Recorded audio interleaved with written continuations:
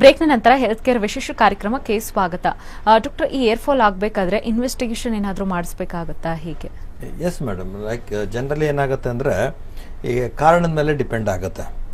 ಈಗ ತುಂಬಾ hair breakage ಆಗ್ತಾ ಇದೆ ಮಧ್ಯ ಮಧ್ಯದಲ್ಲಿ ಕಟ್ ಆಗ್ತಾ ಇದೆ ಸ್ಪ್ಲಿಟ್ ಎಂಡ್ಸ್ ಜಾಸ್ತಿ ಆಗ್ತಾ ಇದೆ ಕಲರ್ ಚೇಂಜ್ ಆಗ್ತಾ ಇದೆ.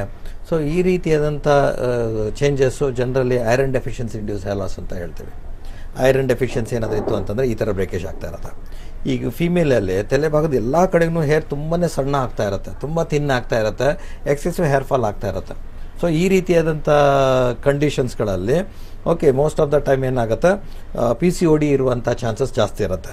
ಸೊ ಪಾಲಿಸಿಸ್ಟಿಕ್ ಓವರಿನ್ ಡಿಸೀಸ್ ಇದರಲ್ಲಿ ತುಂಬಾ ಹೇರ್ ಥಿನ್ ಆಗಿ ಎಕ್ಸೆಸಿವ್ ಹೇರ್ ಫಾಲ್ ಆಗಕ್ಕೆ ಶುರು ಆಗ್ತಾ ಇರುತ್ತೆ. ಸೊ ಅದಾದ ನಂತರ P U C P C ಡಿಗೋಸ್ಕರ ನಾವು ಅಗೇನ್ ಟು ರೂಲ್ ಔಟ್ ಈ ಥರ ಥಿನ್ನಿಂಗ್ ಯಾಕೆ ಆಗ್ತಾ ಇದೆ ಅಂತ ಹೇಳ್ಬಿಟ್ಟು ಸ್ಕ್ಯಾನಿಂಗ್ ಎಲ್ಲ ಮಾಡಿಸೋದಾಗಲಿ, ಇದೆಲ್ಲ ಇನ್ವೆಸ್ಟಿಗೇಷನ್ಸ್ ಮಾಡಲೇಬೇಕಾಗತ್ತೆ. ಇನ್ನು ಥರ್ಡ್ ಅಂತಂತ ಹೇಳಿದಾಗ ಥೈರಾಯ್ಡ್ ಪ್ರಾಬ್ಲಮ್ ಇದ್ದಾಗ. ಓಕೆ ಸೊ ಥೈರಾಯ್ಡ್ ಥೈರಾಯ್ಡ್ ಕರೆಕ್ಟಾಗಿ ಫಂಕ್ಷನ್ ಮಾಡ್ತಾ ಇಲ್ಲ. ಸೊ ಅತಿ ಕಡಿಮೆ ಆಗಿ ಮಾಡ್ತಾ ಇದೆ, ತನ್ನ ಫಂಕ್ಷನ್ಸ್ ಕರೆಕ್ಟಾಗಿ ಮಾಡ್ತಾ ಇಲ್ಲ, ತುಂಬ ಕುಗ್ಗೋಗಿದೆ ಅದೊಂದು ಹೈಪೋಥೈರಾಯ್ಡಿಸಮ್ ಅಂತ ಹೇಳ್ತೀವಿ. ಈ ಹೈಪೋಥೈರಾಯ್ಡಿಸಮ್ ಅಲ್ಲಿ ಏನಾಗುತ್ತೆ ಜನರಲಿ ಸ್ಕ್ಯಾಲ್ಪನ್ ಅಂತೂ ತುಂಬ ಡ್ರೈ ಆಗಿರುತ್ತೆ. ಸೊ ಹೇರ್ಗಳೆಲ್ಲ ಡ್ರೈ ಆಗ್ತಾ ಇರುತ್ತೆ ಎಕ್ಸೆಸಿವ್ ಹೇರ್ ಫಾಲ್ ಆಗ್ತಾ ಇರುತ್ತೆ, ಇನ್ನೊಂದು ಥಿನ್ನಿಂಗ್ನು ಜಾಸ್ತಿ ಆಗ್ತಾ ಇರುತ್ತೆ ಅಂತ ಹೇಳ್ಬೋದು. ಓಕೆ ಸೊ ಈ ರೀತಿಯಾದಂಥ ಹೇರ್ ಫಾಲ್ ಇದ್ದಾಗ ನಾವು generally we recommend them okay so thyroid problem ಇರುವಂಥ ಚಾನ್ಸಸ್ ಜಾಸ್ತಿ ಇರುತ್ತೆ. ಸೊ ಬೆಟರ್ ನೀವು ಥೈರಾಯ್ಡ್ದು ಟೆಸ್ಟಿಂಗ್ ಮಾಡಿಸೋದು ಒಳ್ಳೆಯದು ಅನ್ನೋದು. So these are some of the like common testings ಅಂತ ಹೇಳ್ಬೋದು. ಓಕೆ ಡಾಕ್ಟರ್ ಆರೋಗ್ಯವಾಗಿರಬೇಕು ಏರ್ ಫಾಲ್ ಸಮಸ್ಯೆ ಉಂಟಾಗಬಾರ್ದು ಅಂದರೆ ನಾವು ತೆಗೆದುಕೊಳ್ಳುವಂಥ ಆಹಾರ ಕೂಡ ಇಲ್ಲಿ ಬಹಳಷ್ಟು ಮುಖ್ಯ ಆಗುತ್ತೆ. ಸೊ ಯಾವ ರೀತಿ ಫುಡ್ ತಗೊಳ್ಬೇಕು ಎಸ್ ಮೇಡಮ್ ಲೈಕ್ ರೈಟ್ ಈಗ ಆರ ಅಂತಂತ ಹೇಳಿದ್ರೆ ಸೊ ನಾನು ಹೇಳಿದೆ so vitamin D three okay so ferritin okay vitamin C okay ಇದು ಬಹಳ ಮುಖ್ಯ ಆಗುತ್ತೆ. ಸೊ ಐರನ್ನು ಮತ್ತು ವೈಟಮಿನ್ ಸಿ ಎರಡು ಹ್ಯಾಂಡ್ ಇನ್ ಹ್ಯಾಂಡ್ ಹೋಗುತ್ತೆ ಅಂತ ಹೇಳ್ಬೋದು.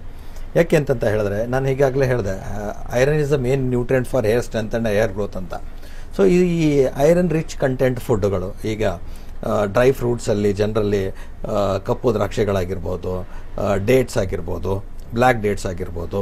Okay so all green leafy vegetables okay so ಸೊಪ್ಪುಗಳಾಗಿರ್ಬೋದು. ಇದರಲ್ಲಿ ಐರನ್ ಜಾಸ್ತಿ ಇರುತ್ತೆ. ಓಕೆ ಪ್ರೊಮೊಗ್ರಾನೇಟ್ ಆಯಿತು ಫ್ರೂಟ್ಸಲ್ಲಿ ಓಕೆ ಬೆಲ್ಲ, ಬೆಲ್ಲದ ಪ್ರಾಡಕ್ಟ್ಸ್ಗಳು ಓಕೆ ಸೊ ಇದರಲ್ಲಿ ಕೂಡ ಐರನ್ ಜಾಸ್ತಿ ಇರುತ್ತೆ. ಸೊ ಇದೆಲ್ಲ ತೊಗೊಳ್ತಾ ಇರಬೇಕಾದ್ರೆ, ಅದ್ರ ಜೊತೆಯಲ್ಲಿ ವೈಟಮಿನ್ ಸಿ ಅನ್ನೋಂಥದ್ದನ್ನು ಭಾಳ ಇಂಪಾರ್ಟೆಂಟ್ ಆಗುತ್ತೆ.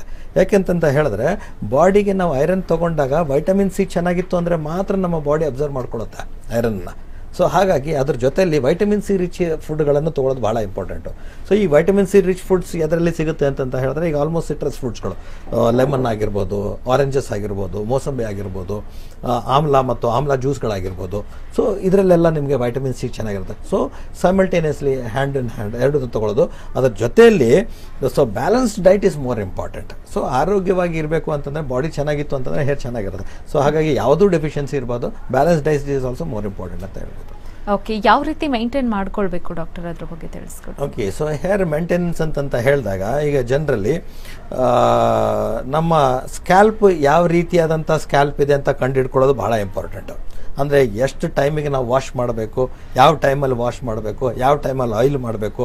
ಓಕೆ ನಮ್ಮದು ಯಾವ ರೀತಿಯಾದಂಥ ಸ್ಕ್ಯಾಲ್ಪ್ ಇದೆ ಅಂತ ತಿಳ್ಕೊಳ್ಳೋದು ಬಹಳ ಈಗ ಎಕ್ಸಾಂಪಲ್ ಅಂತಂತ ಹೇಳಿದಾಗ there are three types of scalp ಅಂತ ಹೇಳ್ಬೋದು ನಾನು. ಸೊ ಈ ಮೂರು ಸ್ಕ್ಯಾಲ್ಪಲ್ಲಿ ಏನಿರುತ್ತೆ ಅಂತಂದರೆ ಒಬ್ಬರದು ಡ್ರೈ ಸ್ಕ್ಯಾಲ್ಪ್ ಇರುತ್ತೆ. ಡ್ರೈ ಸ್ಕ್ಯಾಲ್ಪ್ ಅಂತಂತಂತಂದರೆ ಏನು ಅಂದರೆ, ಇವಾಗ ನಾನು ಇವತ್ತು ವಾಶ್ ಮಾಡಿದೆ ಅಂತಂತ ಹಿಡ್ಕೊಂಡ್ರೆ ಒಂದು ವಾರದವರೆಗೂ ನನ್ನ ಸ್ಕ್ಯಾಲ್ಪ್ ಡ್ರೈ ಆಗೇ ಇರುತ್ತೆ. ಆಯಿಲ್ ಅಂಶನೇ ಇರೋದಿಲ್ಲ ಅದಕ್ಕೆ. ಸೊ ಇಂಥ ಸಂದರ್ಭದಲ್ಲಿ ಆಯಿಲಿಂಗ್ ಅನ್ನೋಂಥದ್ದು ಏನಿರುತ್ತೆ ನೋಡಿ ಸೊ ಅಟ್ಲೀಸ್ಟ್ ಒಂದು two to three times weekly ಮಾಡಿದ್ರೂ ಒಳ್ಳೆಯದು ಓಕೆ ಸೊ ಇದು ಡ್ರೈ ಸ್ಕ್ಯಾಲ್ಪ್ ಅವರಿಗೆ. ಫ್ರೀಕ್ವೆಂಟ್ ಆಗಿ ವಾಷಸ್ ಬೇಕಾಗೋದಿಲ್ಲ ಅವರಿಗೆ. ಸೊ ಇನ್ ಕೇಸ್ ಅವರೇನೋ ತುಂಬಾ ಧೂಳಲ್ಲೆಲ್ಲ ಹೋಗ್ತಾ ಇದ್ದಾರೆ ಅಂತಂತ ಹೇಳಿದಾಗ ಮಾತ್ರ ಒಂದು ಎರಡರಿಂದ ಮೂರು ಸಾರಿ ವಾಶ್ ಮಾಡಿದ್ರು ಓಕೆ ಅಂತ ಹೇಳ್ಬೋದು. ಯಾಕೆಂದರೆ ಆಲ್ರೆಡಿ ಅವ್ರ ಸ್ಕ್ಯಾಲ್ಪ್ ತುಂಬ ಡ್ರೈ ಇರುತ್ತೆ. So next moderately oily scalp ಅಂತ ಹೇಳ್ತೀವಿ. ಮಾಡ್ರೇಟ್ಲಿ ಆಯಿಲಿ ಸ್ಕ್ಯಾಲ್ಪ್ ಅಂತಂತ ಹೇಳಿದ್ರೆ ಇವತ್ತು ವಾಶ್ ಮಾಡಿಬಿಟ್ರೆ at least okay so third day to fourth day ಸ್ವಲ್ಪ ಆಯಿಲಿ ಆಗುತ್ತೆ ಸ್ಕ್ಯಾಲ್ಪ್ ಇಂಥವ್ರು ಅಟ್ಲೀಸ್ಟ್ ವೀಕ್ಲಿ ಒಂದು three to four times wash ಮಾಡಿದ್ರೆ ನಡೆಯುತ್ತೆ. ಆಯಿಲಿಂಗ್ ವಾರಕ್ಕೆ ಒಂದ್ಸರಿ ಮಾಡಿದ್ರು ಸಾಕಾಗುತ್ತೆ. Okay so this is moderately oily scalp ಅಂತ ಹೇಳ್ಬೋದು. ಇನ್ನು ಥರ್ಡ್ದು ಆಯಿಲಿ ಸ್ಕ್ಯಾಲ್ಪ್ ಆಯಿಲಿ ಸ್ಕ್ಯಾಲ್ಪ್ ಅಂತಂತಂದ್ರೆ ಹೇಗಿರುತ್ತೆ ಅಂತಂತ ಹೇಳಿದ್ರೆ ಇವತ್ತು ವಾಶ್ ಮಾಡಿಬಿಟ್ರೆ ಬೈ ಈವ್ನಿಂಗ್ ಅಥವಾ ನೆಕ್ಸ್ಟ್ ಡೇ ಮಾರ್ನಿಂಗ್ ಅನ್ನೋಷ್ಟರಲ್ಲೇ ಸ್ಕ್ಯಾಲ್ಪ್ ಎಲ್ಲ ಫುಲ್ ಆಯಿಲಿ ಆಗಿಬಿಟ್ಟಿರುತ್ತೆ. ಸೊ ಹ್ಯಾಸ್ ಎಫ್ ನಾನು ಆಯಿಲ್ ಹಚ್ಕೊಂಡಿದ್ದೀನಿ ಅನ್ನೋಂಥ ರೀತಿಯಲ್ಲಿ ಇರುತ್ತೆ. ಸೊ ಇಂಥ ಸಂದರ್ಭದಲ್ಲಿ ಆಯಿಲಿಂಗ್ ಮಾಡುವಂಥ ಅವಶ್ಯಕತೆನೇ ಇಲ್ಲ ಅಲ್ಲಿ. ಯಾಕಂದ್ರೆ oiling is nothing but conditioning your hair ಅಂತ. ಓಕೆ ಸೊ ಇಂಥ ಸಮಯದಲ್ಲಿ so you don't have to ಇದು ನೀವು ಆಯಿಲ್ ಹಚ್ಕೊಳ್ಳುವಂಥ ಅವಶ್ಯಕತೆ ಇರೋದಿಲ್ಲ. ಫ್ರೀಕ್ವೆಂಟ್ ವಾಷಸ್ ಇಸ್ ಇಂಪಾರ್ಟೆಂಟ್ ಇಲ್ಲಿ ಮೈಲ್ಡ್ ಶ್ಯಾಂಪುಗಳಿಂದ ಹರ್ಬಲ್ ಶ್ಯಾಂಪೂಸ್ಗಳಿಂದ ಸೊ ಜಾಸ್ತಿ ಡಿಟರ್ಜೆಂಟ್ ಯೂಸ್ ಮಾಡ್ಬೋದು. So frequent strong detergents use ಮಾಡೋದ್ರಿಂದ ಏನಾಗುತ್ತೆ? ಫಾಲಿಕಲ್ಸ್ ವೀಕ್ ಆಗಿ ಎಕ್ಸೆಸಿವ್ ಹೇರ್ ಫಾಲ್ ಆಗುವಂಥ ಚಾನ್ಸಸ್ಗಳಿರುತ್ತೆ ಸೊ ಹಾಗಾಗಿ ಈ ಥರ ಸ್ಕ್ಯಾಲ್ಪ್ ಇದ್ದವರು ಫ್ರೀಕ್ವೆಂಟ್ ವಾಷಸ್ ಇಸ್ ರಿಕ್ವೈರ್ಡ್ ವಾರಕ್ಕೆ ಅಲ್ಟರ್ನೇಟಿವ್ ಡೇಸ್ ವಾಶ್ ಮಾಡಿದ್ರು ನಡೆಯುತ್ತೆ.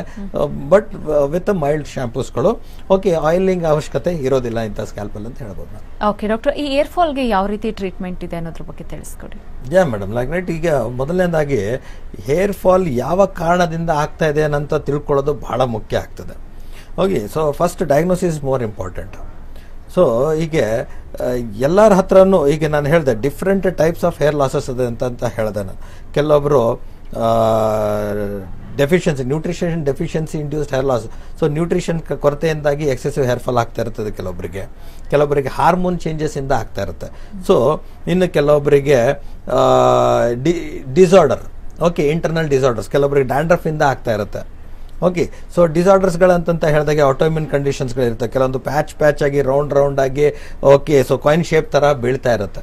ಸೊ ಎಲ್ಲರಿಗೂ ಒಂದೇ ಟ್ರೀಟ್ಮೆಂಟ್ ಇರೋದಿಲ್ಲ ಇಲ್ಲಿ. So first diagnosis is important ಈಗ ಡಯಾಗ್ನೋಸಿಸ್ ಮಾಡಬೇಕು ಅಂತಂತ ಹೇಳಿದಾಗ ಬರೀ ಕೂದಲು ಬೀಳೋದ್ರಿಂದ ನಮಗೆ ಕೈಯಲ್ಲಿ ಬರೀ ಕೂದಲುಗಳು ಮಾತ್ರ ಕಾಣಿಸ್ಕೊಳ್ಳುತ್ತೆ. ಅದು ಯಾಕೆ ಬೀಳ್ತಾ ಇದೆ ಅಂತ ತಿಳ್ಕೊಳ್ಳೋದು ಭಾಳ ಅತಿ ಮುಖ್ಯ ಆಗುತ್ತೆ.